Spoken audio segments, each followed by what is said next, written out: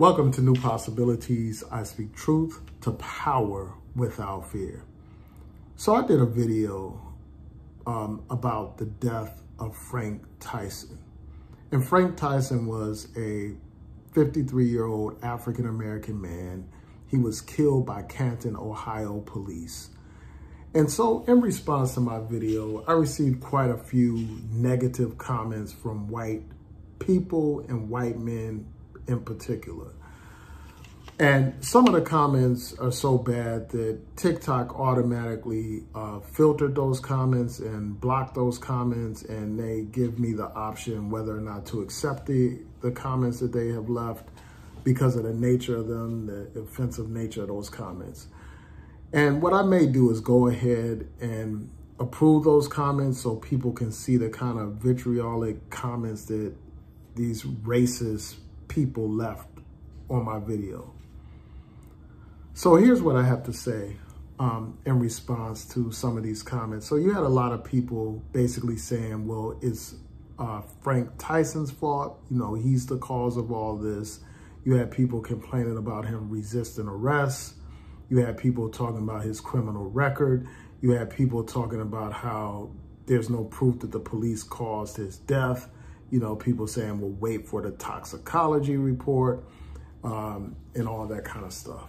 So I just want to take time to respond to some of these comments, you know, step by step. And then also some people accuse me of being a race baiter. So here's what I have to say. First of all, obviously I don't condone people resisting arrest, you know, especially our people, black people, given the history of these police, how they, many of them are looking for any excuse to brutalize and kill a black person, a black man in particular. So in light of that, I don't encourage people to resist arrest. And that is not what I was saying with my video. Um, you know, so that's the first thing. I think that it's better for you to leave the scene alive and file a complaint later with the police department, with the uh, local DA, or with the federal government. So obviously I don't condone someone resisting arrest. But let's be clear. This is not a situation where Frank Tyson punched an officer. It's not a situation where Frank Tyson pointed a gun at an officer or used some other kind of weapon directed toward an officer. This is not a situation where he kicked an officer or tried to bite an officer or any of that kind of stuff. This man was trying to prevent the officers from arresting him. Um, and not that that's right or anything, but the fact of the matter is that brother didn't deserve to die. You know, getting into a car accident, should not be a capital offense. Even resisting um, police officers the way that he did should not be a capital offense. And the police here, they restrained him. They eventually restrained him, but they, one of the officers put his knee on his brother's neck and back. And Frank Tyson repeatedly told these officers that he could not breathe.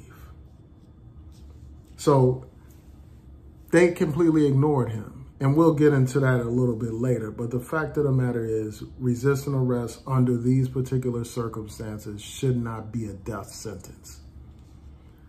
Um,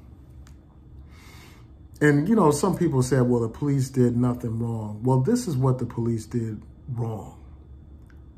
First of all, the police officer had his knee on his brother's neck and back, and his brother could not breathe. And he repeatedly said that, and the police ignored him.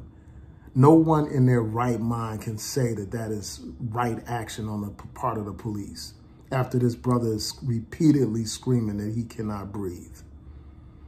They ignored his pleas. Nobody can say that that is the right thing to do or that the police did nothing wrong under those circumstances, especially after George Floyd, especially after Eric Garner, where you had black men in similar situations that said they could not breathe and the police continued to hold them down and restrain them to the point where they died.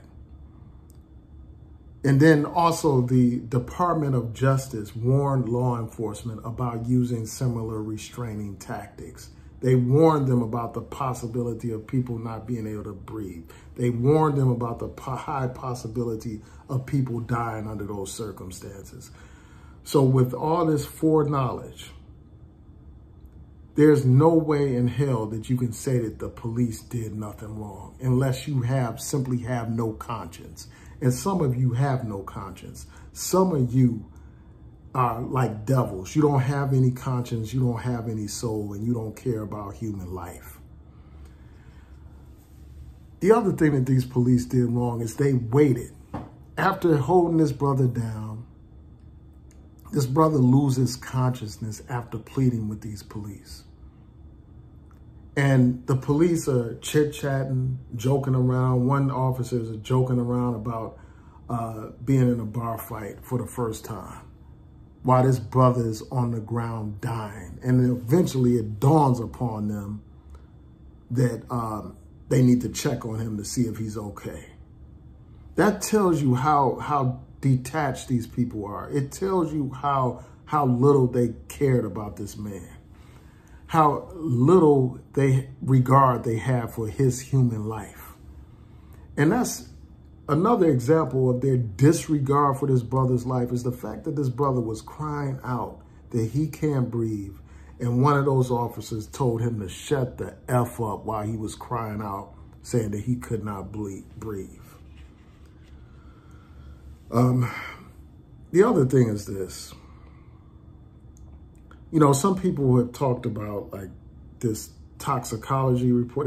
They, they basically said, well, there's no toxicology report. We can't prove that the police caused his death and all that kind of stuff. Well, here's what I have to say about that. Frank Tyson was breathing before those police started to restrain him. When that officer put his knee on that brother's neck and his back, that's when the brother said that he could not breathe. Obviously, what the police did made it difficult for this brother to breathe.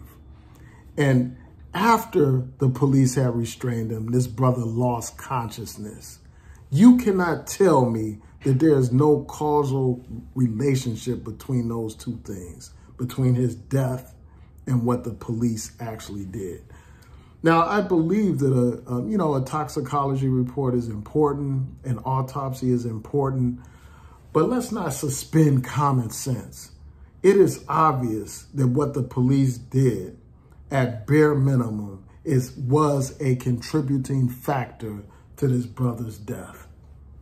A child can understand that. An imbecile can understand that. But somehow these white people in my comment section, racist white people, can't seem to understand that. You know, and the, the thing is, you know, some people made a deal about his past criminal record. And the fact of the matter is, as his attorneys pointed out during their, um, their press conference, Frank Tyson refuted those allegations. He was contesting his conviction.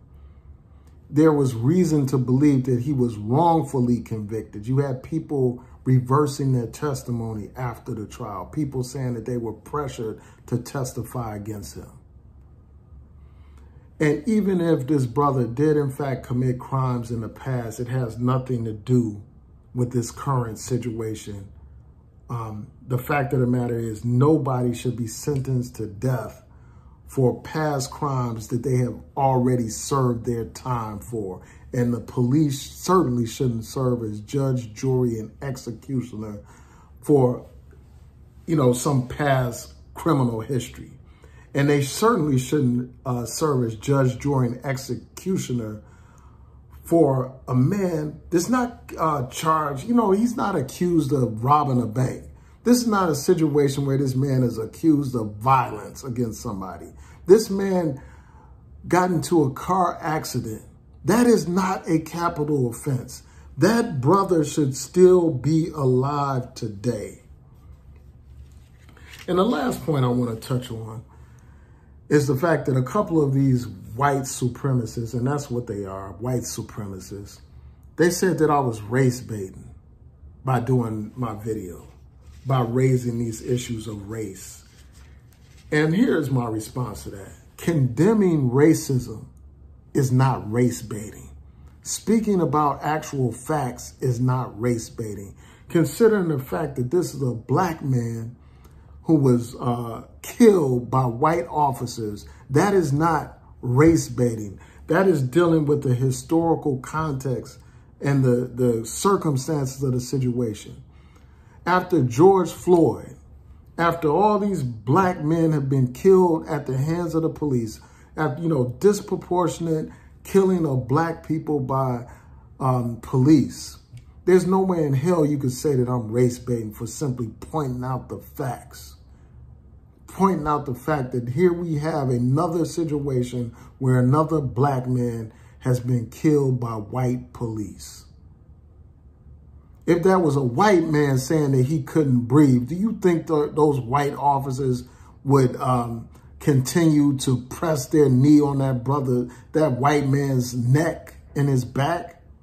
If that was a white man, do you think they would have waited so long to check on him to see what if he's okay? If that was a white man? Of course not. But you are in denial. You are living in a fantasy world where you people don't even think that racism is a, a problem nowadays. But this, this is the mentality that we're dealing with. These are the kind of people that we have to deal with. So those are my thoughts. That is my response to all these people um, and all their, their negative comments on my video. And then, you know, there's some people, again, I'll go back to this point about, um, you know, people saying, well, he shouldn't have resisted arrest and all that kind of stuff and then blaming him. Here's what I have to say about that.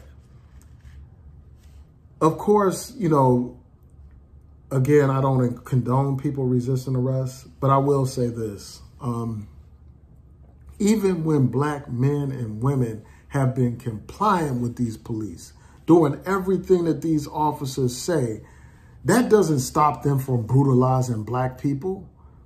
That doesn't stop them from killing black people. There are so many situations where black men and women have been compliant with these police and they have still been victims of police brutality. There are some situations where they didn't even have time to, to comply with the police and they were taken out, like that brother Tamir Rice playing on a playground, like in a park with a toy gun and the police run up on him and within seconds they kill that young brother, a 12-year-old black man, black boy rather. He was not a man. He was a boy gunned down by the police. So that's my response. You know, I'm really interested in hearing from y'all. Tell me what y'all think. Peace.